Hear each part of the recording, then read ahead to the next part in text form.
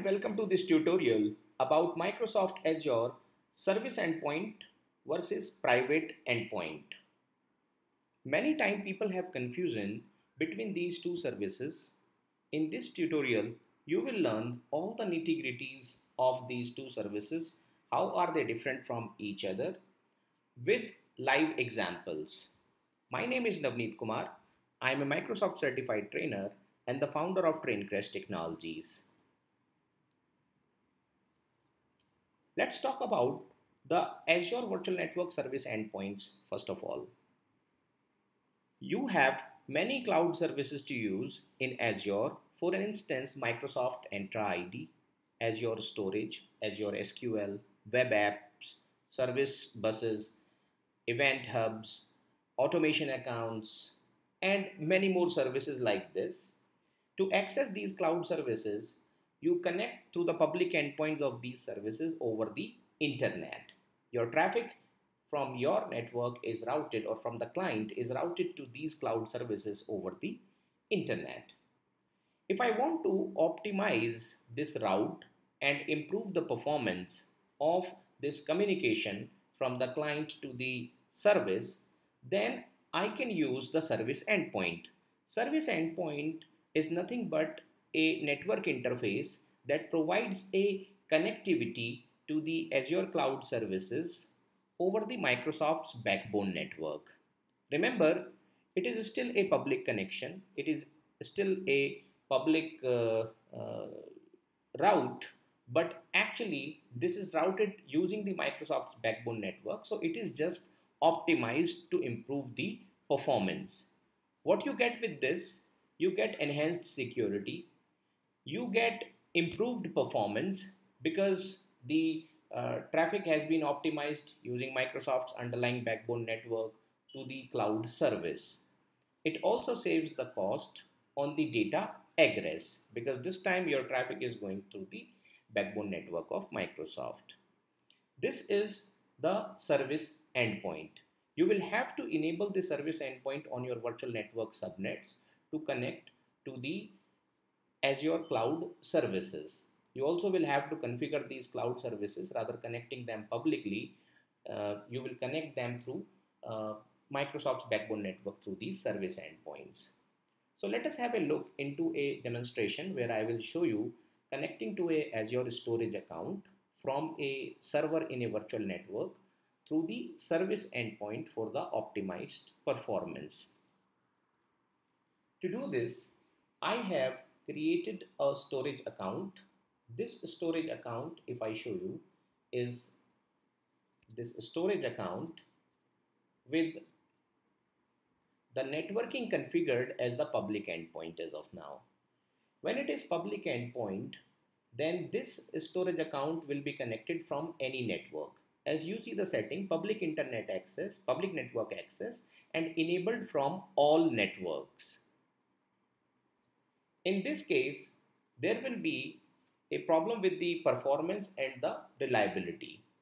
If my clients are in the virtual network, then I can optimize this connection. So what I can do is, I can go to this enable from the selected virtual networks and then I can pick a particular virtual network. So I can add that virtual network here.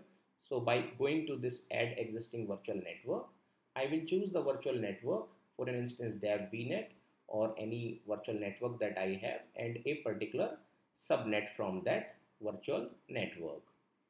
I have this test vnet with the app subnet also over here but you see the endpoint status is disabled. For that I will go to my virtual network and enable the service endpoint on the corresponding virtual network subnets. I'll go to the VNet.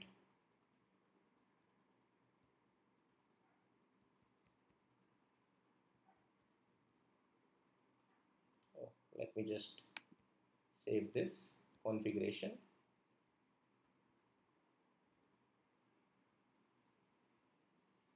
And now I will jump to the virtual network.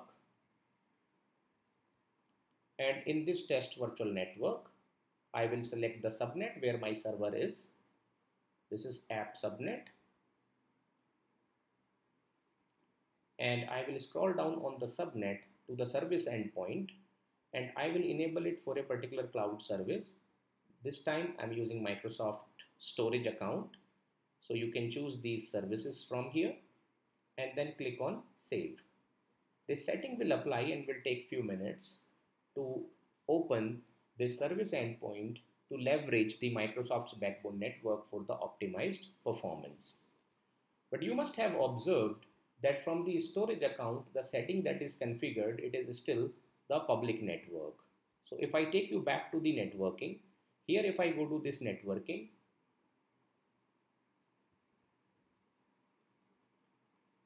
you will notice that this is public network access and enable from selected virtual networks and the IP addresses. But if I do not want public network access, then I will go with disabled. That I will discuss in private endpoints.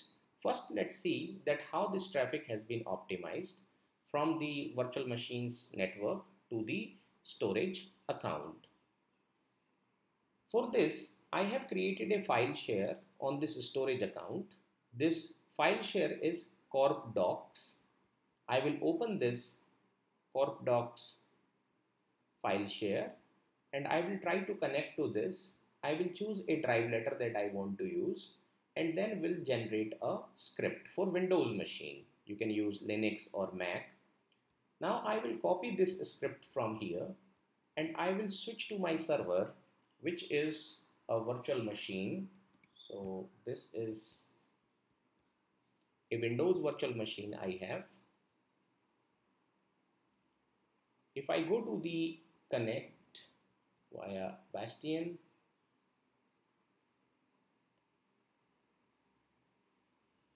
and do the RDP to this server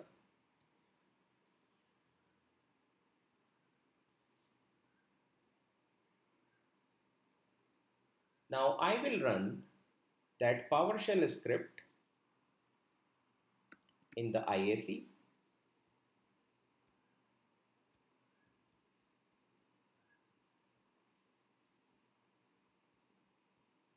I will paste that code here.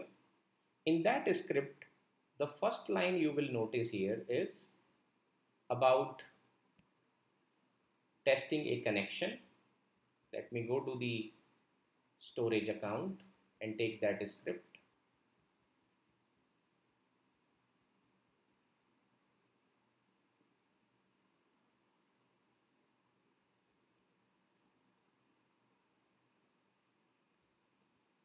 File shares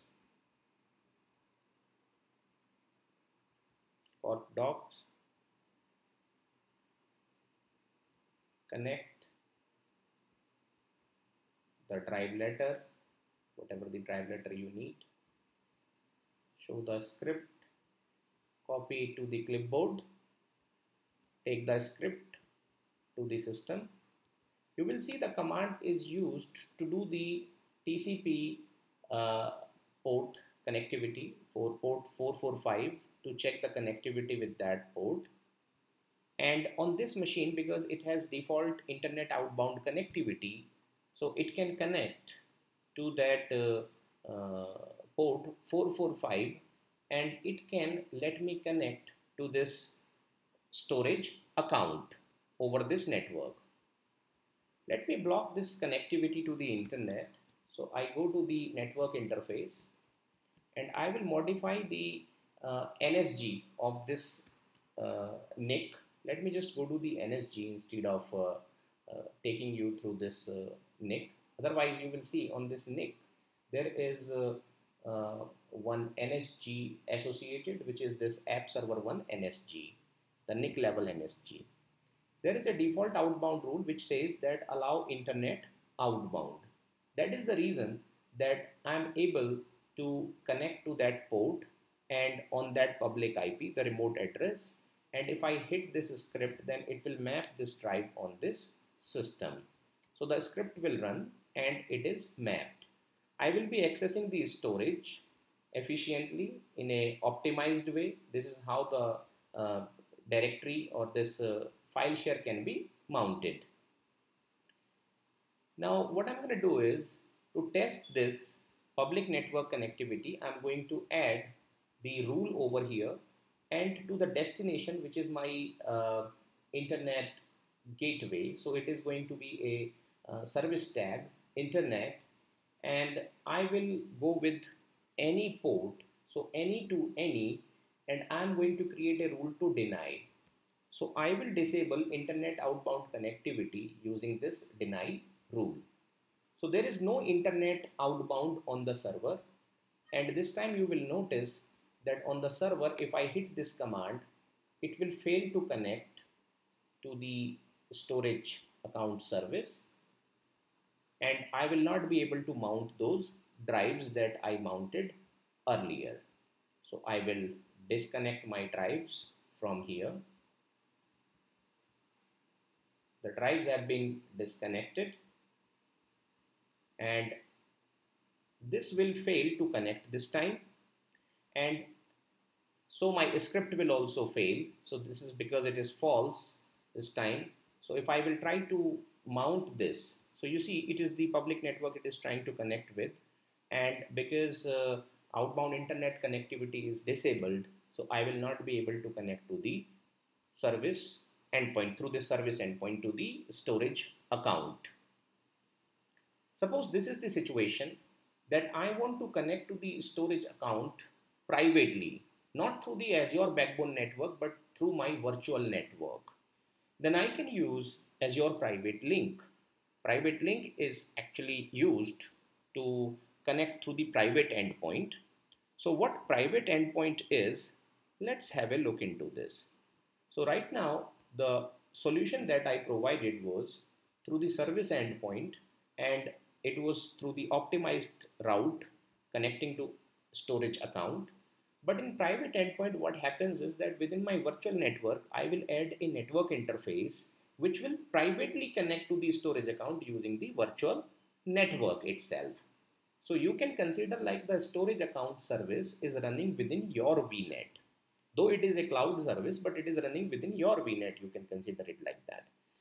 For an instance, I have web applications or Cosmos DB or Event Hub, service buses, such cloud services I have, and I want to connect them through the private connection through the virtual network traffic of my virtual network in cloud, then I can leverage this private endpoint.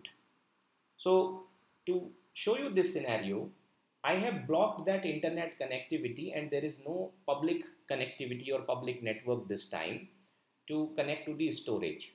So now I can use the private endpoints. All I need to do is I need to go to my storage account once again and this time in the storage account I will change this configuration to disable the public endpoints. When the storage account is no longer a public endpoint, then how will we able to connect to that? So I'm going to save this setting. It is completely a private endpoint. Now to establish a connectivity with this, I need to add a network interface. So this is going to be my private endpoint connection that I will create. Now then on the cloud service that connection can be approved or rejected. I will give it a friendly name. This will be test NIC and okay test 2 NIC and East US is the region. Then the resource. So this is the target subservice that I want to use, file service. It will ask for the virtual network, in which virtual network and the subnet you want to introduce it. So I will choose my subnet over here, which is app subnet where my app servers are running. I will dynamically allocate the IP to this NIC or I can create a static IP for this NIC. I can define the application security groups for additional configuration and then I will go with DNS a private DNS zone will be required for the name resolution. Otherwise, you will have to connect to this storage account service, this file service using the private IP allocated on the NIC that we have defined in this previous, previous step. Now, if you already have the private DNS zone registered with that, you can leverage it. You will provide the tag for this. For an instance, it is project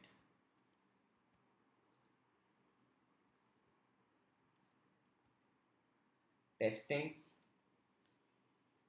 and you will click on review and create. Finally you create this private endpoint.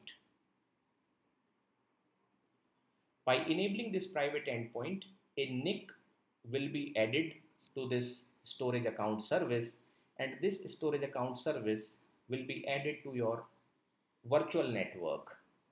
Unlike the service endpoint which uses the Microsoft's backbone network to optimize the routing to connect to the storage services, the private endpoint will use the virtual network to connect to this storage account.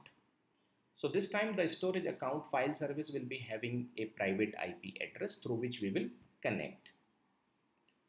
Earlier in that case of service endpoint you noticed that we tried to connect to that public IP and this failed to connect to that public IP because uh, the internet outbound is disabled through the NSG. There is no internet outbound connectivity on this server. So this server is completely isolated having no internet inbound or outbound this time.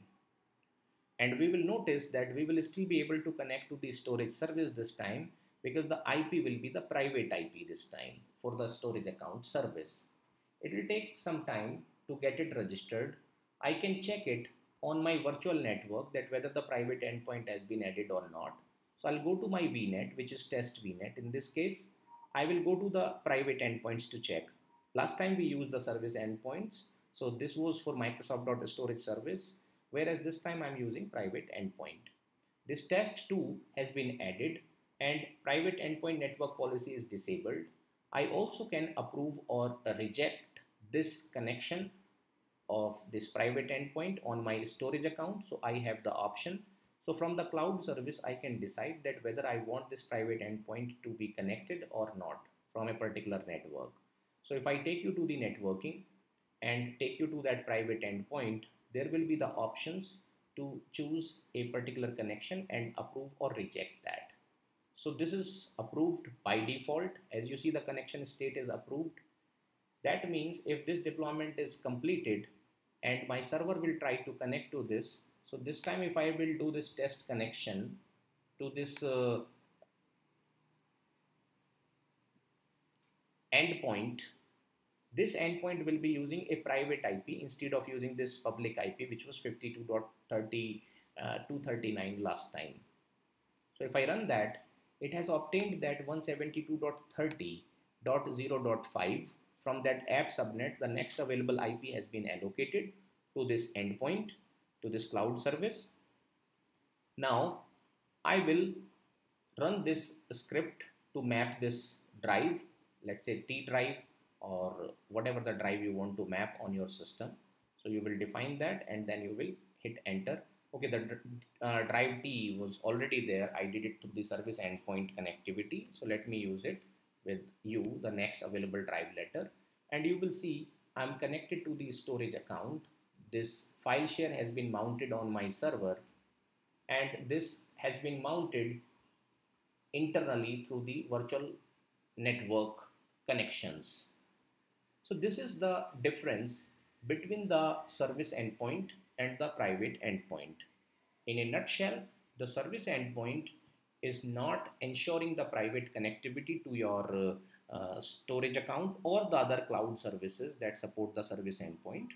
It is through the public uh, network, but it is optimized uh, routing through the uh, Microsoft's backbone network.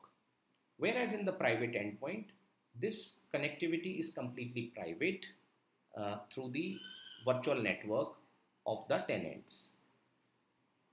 I hope this tutorial was informative to you and if in case you have any doubt or questions please do let me know in the comment section.